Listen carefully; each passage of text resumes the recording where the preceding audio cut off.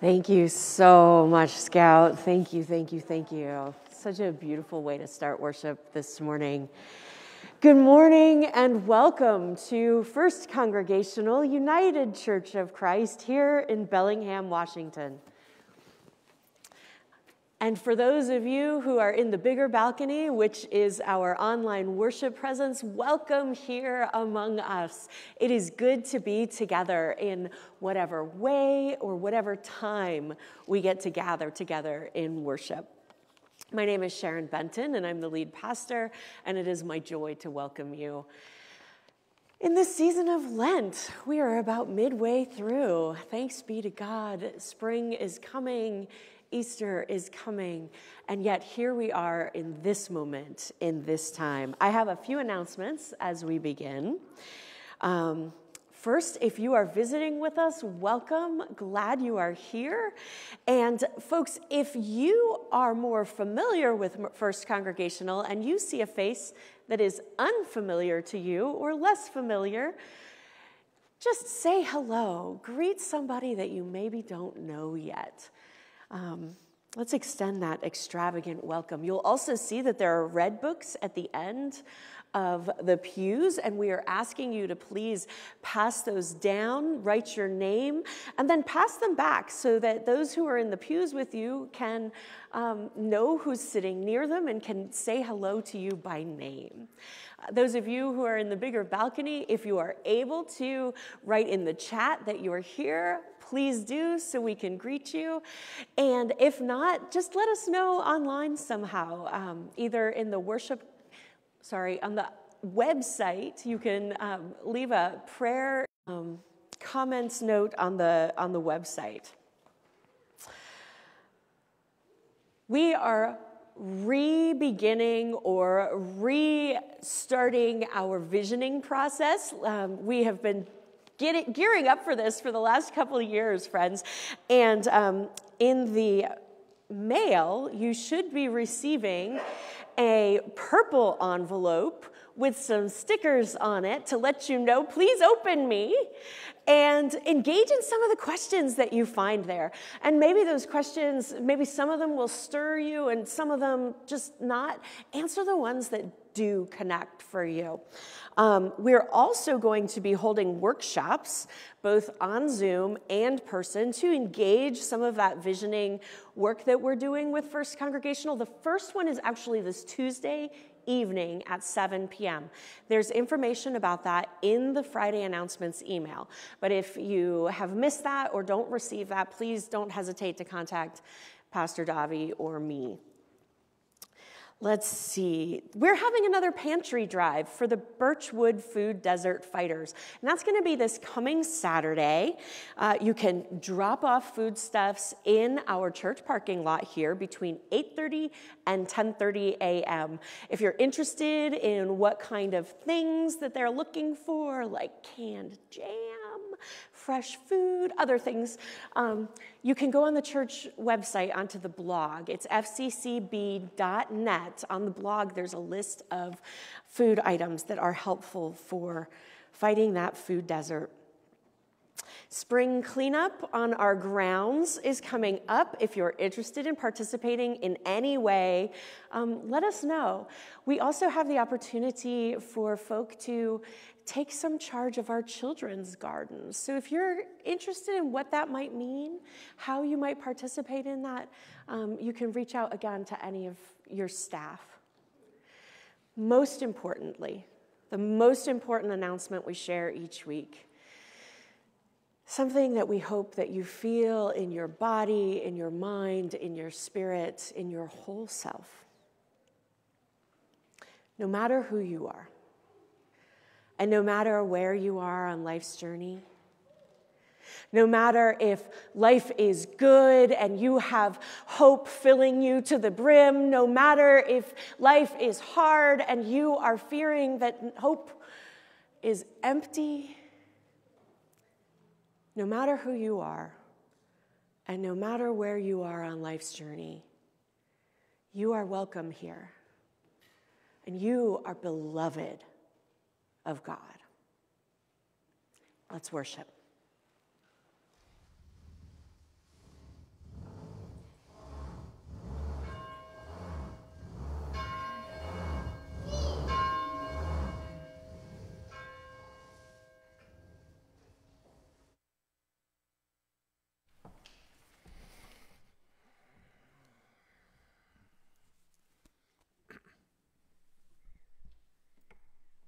Join with me in the call to worship. Life abundant calls to us. To be alive, fully aware, awake in this world rich in beauty and wonder. Through death and destruction, will have their way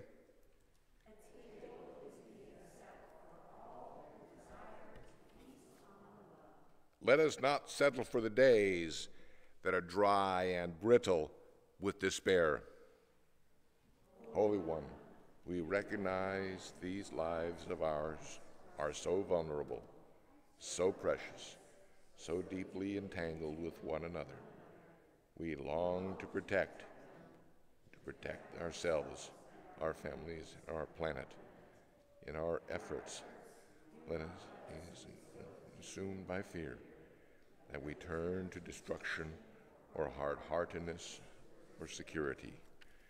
Keep our hearts tender to one another and lead us into paths of peace with justice. Amen. Peace of Christ be with you. If you are comfortable sharing signs of peace, I invite you to come forward and share peace of Christ with the folk in the bigger balcony check in with each other, bump elbows, say good morning. Folk, write in the uh, comments that peace of Christ be with you, or make a phone call to somebody and wish them peace. Again, the peace of Christ be with all of us.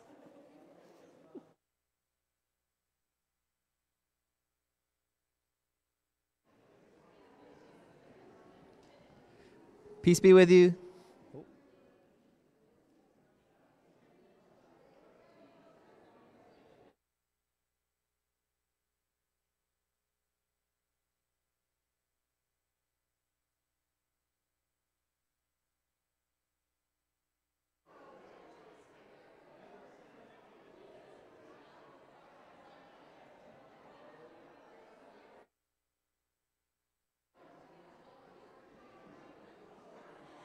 Peace be with you.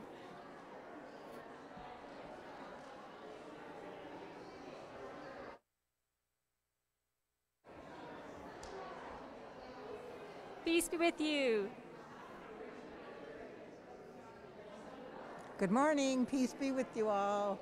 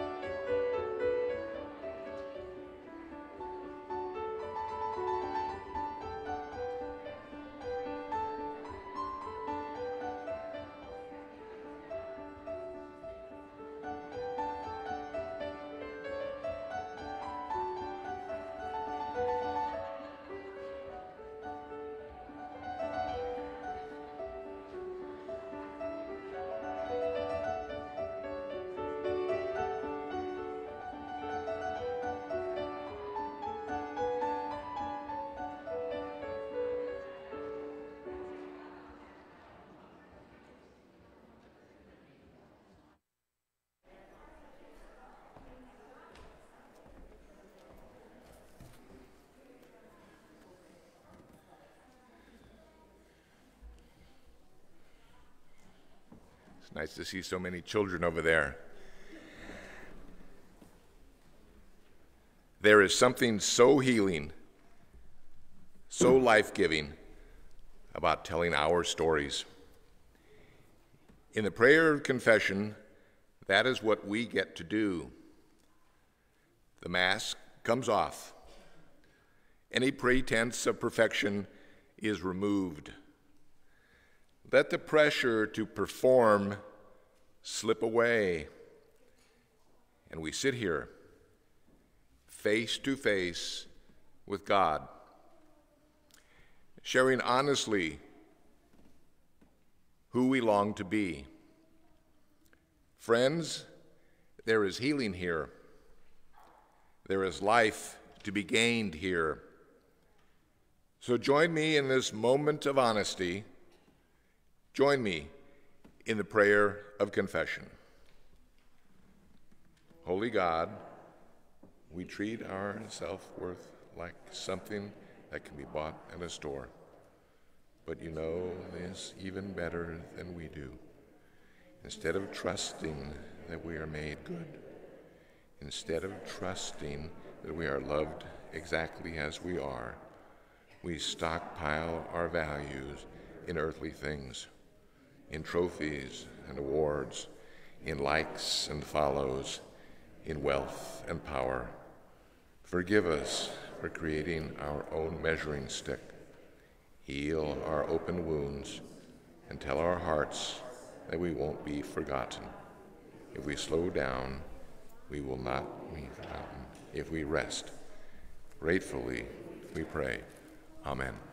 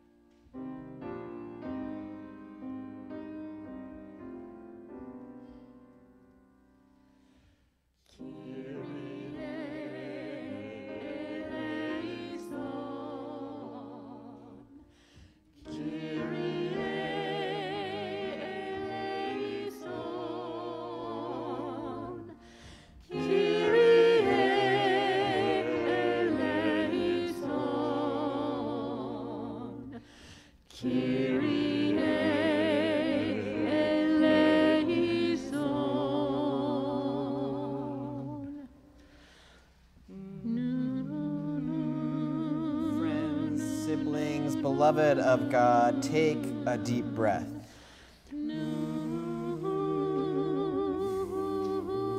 Relax the tension in your jaw. There is good news here.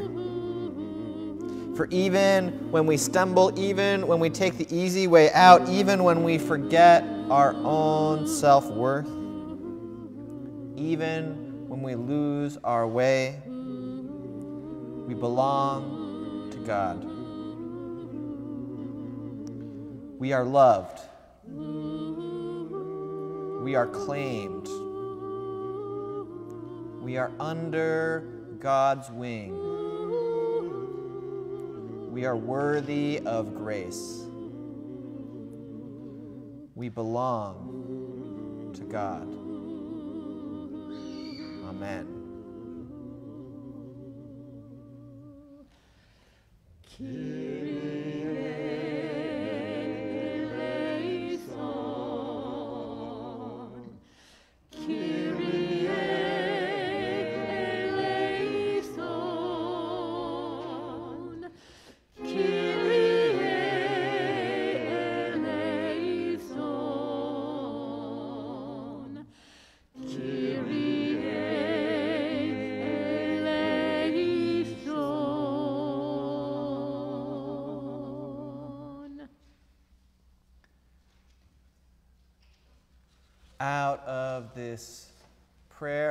forgiveness, I invite you to join me in a time of prayer for ourselves, for our congregation, for our community, and for all the world. God of growing things, for the blooms that take flight in the wind, for the slow emerging roots deep underground. God, we pray that you will teach us the wise patience of growing things, the wise patience of your heart. And God, in these lengthening days, we pray that you will bring healing to those we love. God, we pray for Sandy, the aunt of Max B., who passed away last week. Bring comfort and peace to her family in the midst of the several deaths they've experienced this last year. bring hope and rest in the midst of these challenging times. God, we pray also for our sister Bert M. We give thanks she was able to go home from the hospital this week, but we hold her in prayers as she continues in the midst of health challenges. God bless her and her family. Bless all of those who care for her and all of those who wait earnestly for her healing. God, we pray for those with cancer in this season. In active treatment or in remission, however it appears in their bodies, God, we pray for your healing presence in their bodies, in their communities, in the healthcare workers who provide care and treatment. Give strength, give courage Give healing. Give that wise, steady patience. God, we pray for peace in Ukraine and throughout our world. We especially pray for safety for all of those affected by warfare, those wounded and killed, those made refugees by the violence. Provide safe places to rest for all of your children. And teach us again how to make peace and how to claim our voices for peacemaking in our communities and beyond. God, you who move alongside the slow growing of roots, grow in our hearts again. Renew us, strengthen us, lead us. We pray for these things, and we pray for the names we, we speak out loud or in our hearts right now. Hear our prayers, O God.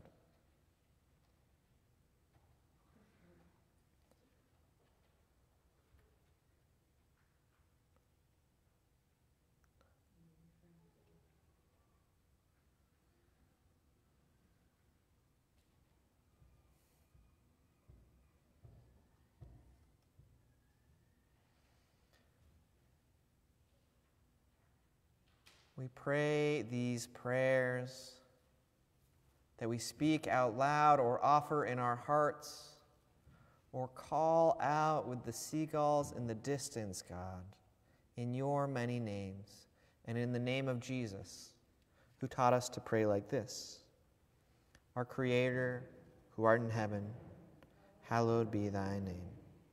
Thy kingdom come, thy will be done on earth as it is in heaven. Give us this day our daily bread, and forgive us our debts as we forgive our debtors. And lead us not into temptation, but deliver us from evil. For thine is the kingdom, and the power, and the glory forever and ever. Amen.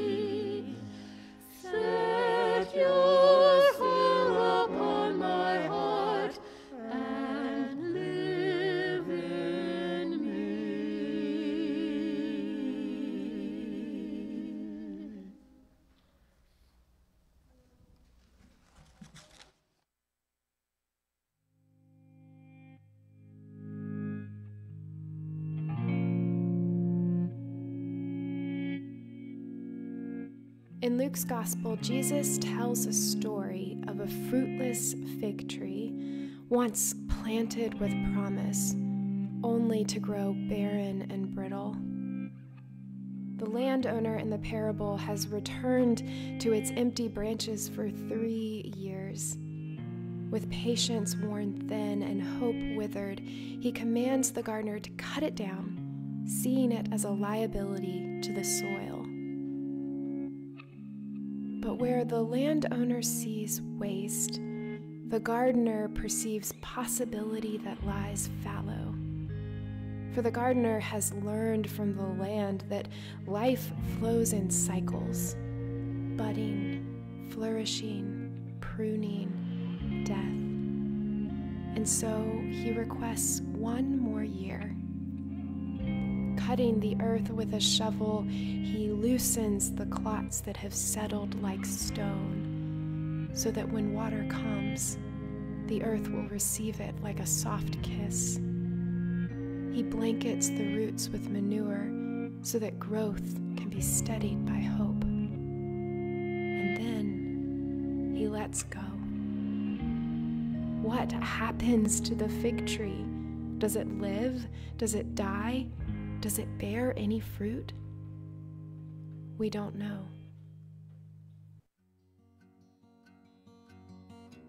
And so, if we can't read the end of this story, then we must write it with our own lives. Because we know what it feels like to be the fig tree, to be deemed worthless, to be weary enough to believe that we don't deserve to be well.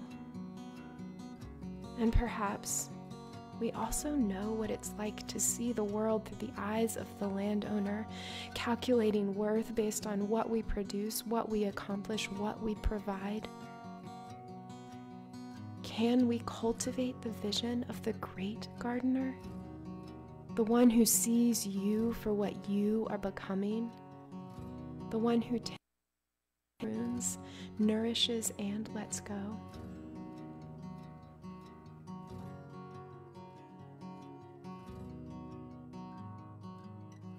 perhaps for us, the fruit is not the ending. The fruit is in the waiting, in the dead of winter, in the manure, the nurture, the rest, the darkness. The fruit is in all of it, sowing seeds we can't yet see.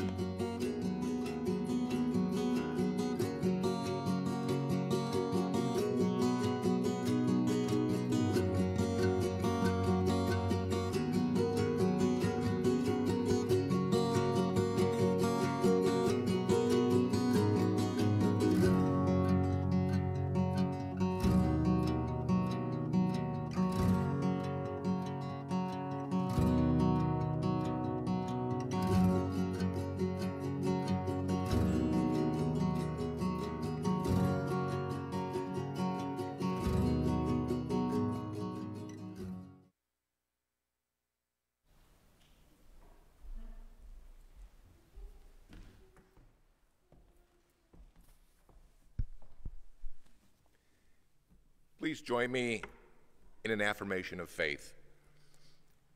We believe that the God of the cosmos is at work here. We believe that God is fertilizing the soil. We believe that God is planting roots. We believe that God is growing fruit that is yet to be tasted.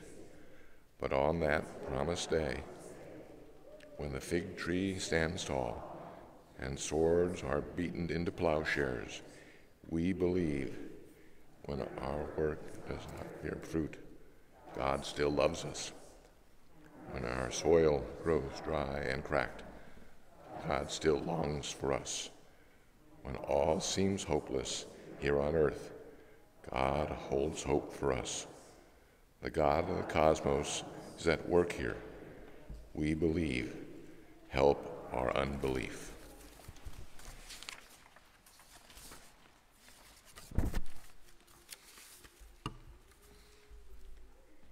A reading from Scripture, Luke chapter 13, verses 6 through 9, the parable of the barren fig tree. Then he told this parable A man had a fig tree planted in his vineyard, and he came looking for fruit on it and found none. So he said to the gardener, See here, for three years I have come looking for fruit on this fig tree, and still I find none. Cut it down. Why should it be wasting soil? He replied, Sir, let it alone for one more year until I dig around it and put manure on it. If it bears fruit next year, well and good. But if not, you can cut it down. For the Word of God in Scripture, for the Word of God among us, for the Word of God within us. Thanks be to God.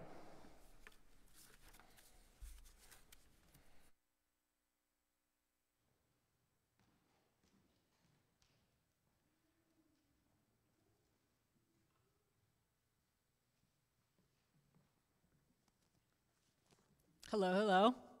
Um, we have kiddos this week, and you're hiding in the back there, but I need your help. I've got one coming. That's great. It's mine, so that's good.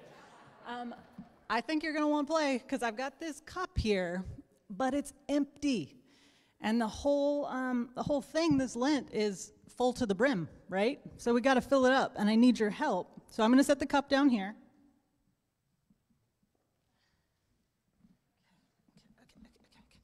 Just going to take this out.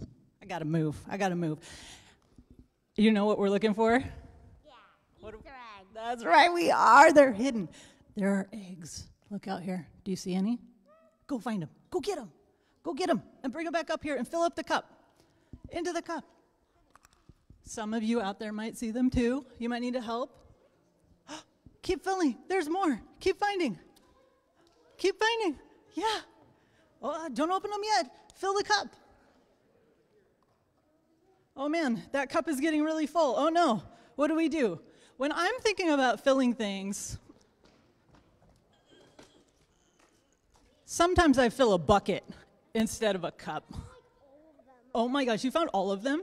Well, keep going. Fill that bucket instead. It's all about filling your bucket. Look, they're coming from everywhere. They're coming from everywhere. Fill that bucket up. Fill it up. I'm all about a little chaos in church. yeah. Fill that bucket up. Oh my gosh, there's more. There's more. I still see bunches. There's more. Get it, get it, Nolan. There's some over here. Look. There's lots on this side. Brendan, over here. Yeah, in that bucket. There we go. There's lots over there. There's lots over there. Keep going. Keep going. Oh, yeah. We're finding them people people on the bigger balcony there there's adults on their knees out here. They're diving. It's intense. I, oh my gosh you've got tons. People have got like multiple in each hand. Oh look there's more over here. Yay. Keep going. There's one by sharon. Oh oh my gosh. We've got one with like multiple Oh, yep. There we go. Keep filling it. How many can we get in there? Up. Oh, they're flying down the center aisle right now. There's just. Oh my goodness. Oh, this is a really full bucket. Oh man, how many more can we stack on there? Oh no. They're, they're starting to full off the bucket. It's overflowing. Oh my gosh. keep stacking them. See what you can do. Yes? Oh no. Okay, all right, time out, time out, time out. we the bucket is overflowing. What do we do? A bigger bucket, that's an option. Another option is maybe we could share them with people, right?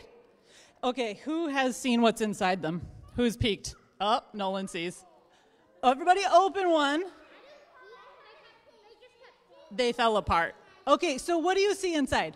What do you see inside? Show me. Are they all the same? What, what do they have on them? Faces. What do the faces look like? Happy. There's a happy one. What? Silly. Uh, There's one with one eyeball. I don't know what that is. Nerdy. I love that. Is there a sad one? Okay. So there's a lot of emotions in this bucket. And you know what? Sometimes our heart is filled with emotions too. Sometimes I've got a lot of joy. And you know what I do with that? I share it with other people. And you know what? Sometimes they're loving these stickers. So this is really for you guys. Sometimes we could give some to people. You know what? When I have too much worry or sadness, sometimes I talk with somebody else and they take a little bit of that worry, and then my bucket's not so full.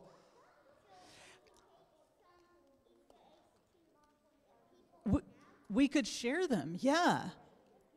And you know, the great thing about this church and this community, just wait a second, it's chaos. I love it.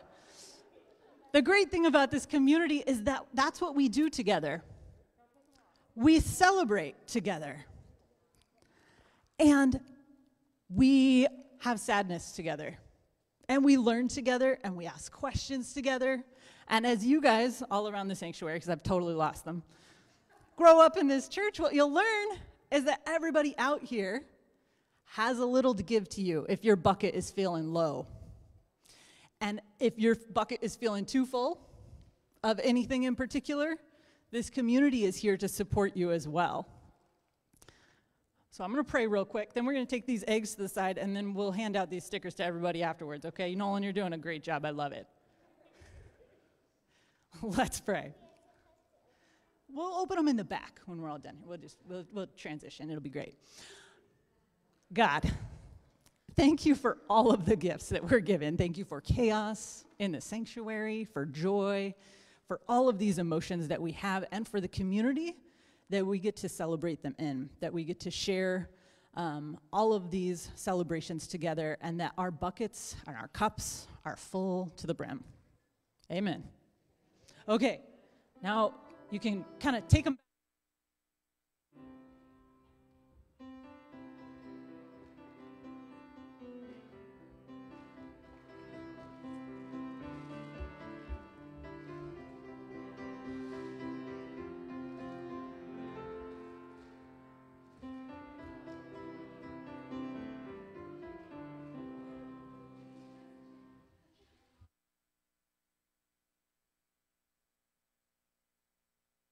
Good to have chaos again. I mean, not the kind of chaos that we've had these last two years, different kind. Feeling full to the brim. I'm going to pull you back to the picture of that fig tree. That fig tree growing there. All I could think every time I kept reading the text this week Poor fig tree. Outcast in the middle of the vineyard, not part of a big fig family, but growing solo amidst a bunch of grapevines. Soil seems just fine for some fruit, but clearly not for figs. Cut it down. Was the vineyard grower, going on a cost benefit analysis? Was it really such a desirable little plot of land that the tree grew on? Or did it just seem that this tree wasn't worth what the grower thought it should be? Because it didn't produce. All calculations indicating that output should have been more. If the world were to do a cost benefit analysis on you, what would the accounting show? Are you contributing enough? In the right ways? Are you worth the ground that you are taking up? I feel nauseous saying those words. I felt nauseous writing those words this week. Probably because I know that our society thinks exactly in those terms. You need to earn your keep. You need to make good grades and have lots of friends and participate in cool extracurriculars. You need to parent like you don't work outside the home, and you need to work as if you aren't parenting as well. We're making judgments all the time about our worth and others' worth. But who is making up the conditions or defining the premises on how we assess? Who set the parameters for how you measure up? I've heard this parable interpreted before, and I have never quite gotten it. And maybe it's because Jesus was in a particular time and place when he told it, and I am not there. Living where he was, seeing what he saw, hearing what he heard, knowing what his hearers knew about everyday life in first century Middle Eastern contexts. I've heard this parable interpreted as being about time and repentance. There's still time to repent. You've got another year, tree, before we cut you down. Another year to produce the fruits of atonement, mulched and manured, given more information about sin and how not to do it, so that productivity can finally happen and you won't be cut down. But this year, this year I have been reading more commentaries on scripture written by women of color and gender non binary folk, alongside the centuries of white male interpreters that I still do read. And this week, the starkness of the differences between those commentaries, well, they've confused me and shocked me and made me wonder yet again, or actually even more, what the heck to do with this parable. In particular, the Sanctified Art commentary written this week by Reverend Larissa Kwong Abazia has captured my spiritual imagination. Reverend Kwong Abazia writes Many of us experience the world as a fig tree in the midst of grapevines. We're placed in fields not meant for us, and yet expected to thrive. People discount and doubt us, threatening to cut us down if we don't produce in the ways that have been defined on our behalf. We're afterthoughts, demanded to bear fruit or be destroyed. Reverend Kwong Abazia's words convicted me. They made me pause, wondering what else our capitalist culture demands this fruitfulness, particularly as it was built on slavery and the cheap labor of immigrants, railroad builders, factory and farm workers. Go ahead, fig tree, thrive. I dare you. Yes, you are being treated like a grapevine, fertilized and watered as a grapevine planted in a place that is at minimum antagonistic to your life, if not downright hostile to it, but thrive, produce in the way that we have named for you. Reverend Kwong Abazia continues The story of the fig tree reminds us that the world's expectations do not need to be ours. The gardener puts their faith in that which they have no control, digging a bigger hole and filling it with manure. The gardener tends to the tree with everything that it needs to grow so that it can grow into its purpose. Perhaps that means bearing figs. Or maybe it provides shade for the laborers during the harvest. or an opportunity for the gardener to tend to the fields in a new way, learn a new way of gardening, or even transformation of the owner's ability to see beyond the commodification of the land.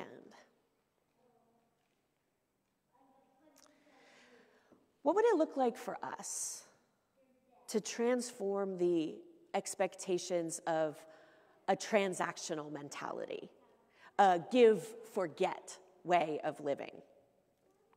To be able to slough off the imposed cost benefit assessment of you are not good enough or worthy enough to deserve the nutrient filled soil that feeds your particular existence? What would it be like to transform the world for those around us? I recently reread the book, the book The Good, Good Pig, which is an incredibly sweet memoir by the naturalist Sy Montgomery. She wrote it about her 14 year love affair with Christopher Hogwood, a runt piglet who grew into a 750 pound great spiritual master. In this, I swear it's a sweet book, so just prepare yourself for this, but in it she writes, Usually, a sow doesn't want to raise more than 10 piglets. Usually, a sow has 10 good working teats. When a sow has more than 10 piglets, somebody is going to lose out. And that somebody is the runt. A runt is distinguished not only by its small size and helpless predicament. Unless pulled from the litter and nursed by people, a runt is usually doomed for it is a threat to the entire pig family. A runt will make this awful sound. It's just awful. It would attract predators. So the sow's response is often to bite the runt in half to stop the noise. chop down the fig tree. To keep the rest of her litter safe, the sow does what she has to do.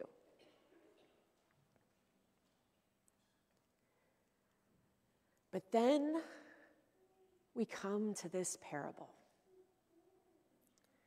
The gardener stops the axe from cutting down the tree. the author stepped in to nurture the runt. Somebody steps in to transform the outcome. And this makes me ponder are we to interpret that God is the vineyard owner in the parable? checking out the land and seeing what's producing and what isn't. That's the traditional interpretation.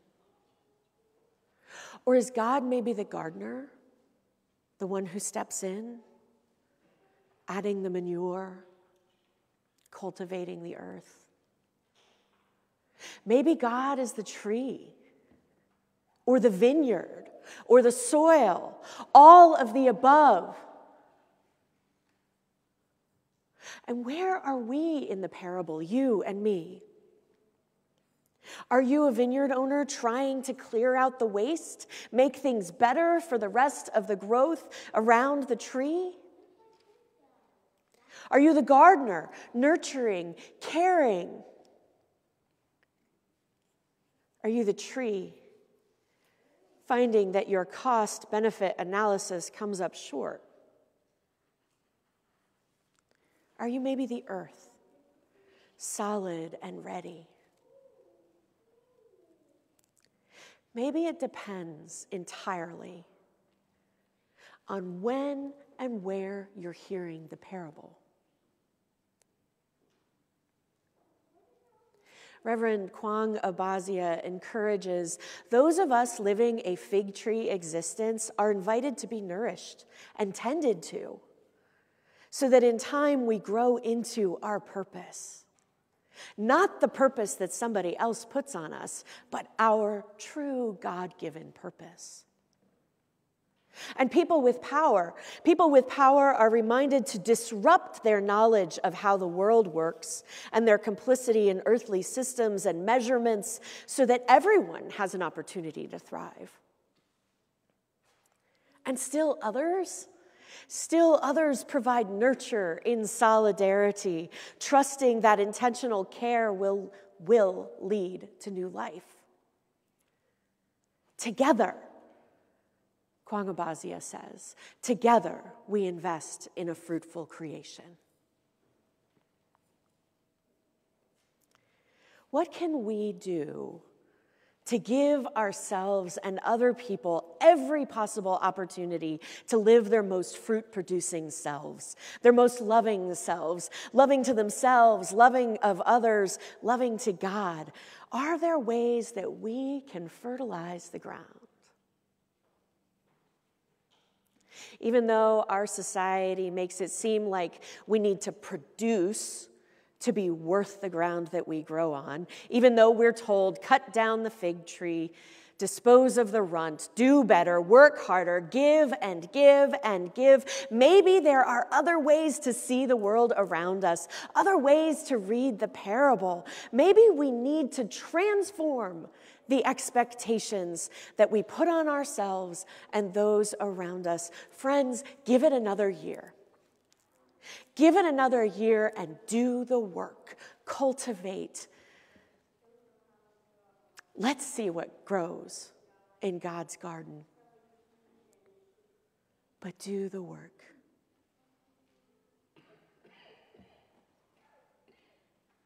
Amen.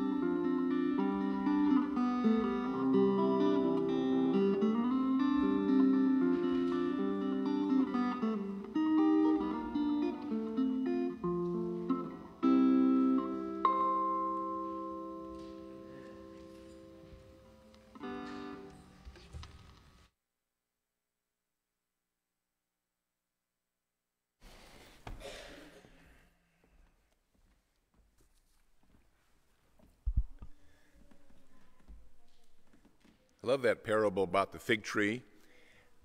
My grandmother had a fig tree in her backyard, and as a kid, I loved climbing up in that tree and eating the fresh figs right off the branches. Just like I remember climbing the apricot tree in my parents' backyard and eating the apricot seed. They were a lot of them still green. I love that. I love the cherry tree I had in my backyard in San Jose, California. I love that cherries right for the, if I could keep the birds away from it. And Sharon's sermon reminded me of another story. In the early days of flight, a man came up to the Wright brothers and he said, What is the value of this airplane thing? And Orville responded, What is the value of a newborn child? Now, uh, in your bulletins, you'll see a listing of different ways in which you can uh, make your offerings to the church. Uh, times have changed. Please uh, go through that, see which works best for you. Um, and uh, so now I will ask the ushers to please come forward and collect today's offering. Thank you.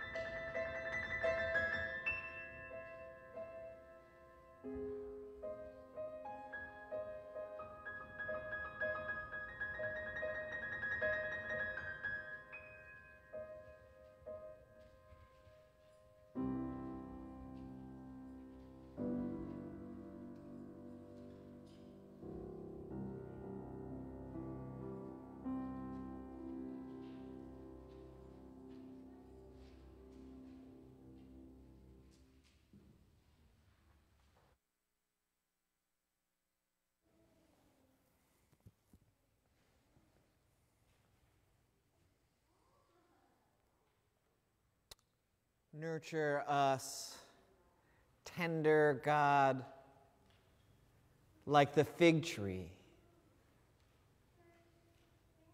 Remind us, teach us, demonstrate in us our worth, our blessedness, our belovedness, until it overflows. So that next year and in all the years to come, we would be signs, we would be bodies, we would be proclaimers of your healing love. Lead us and send us. In Jesus' name, amen.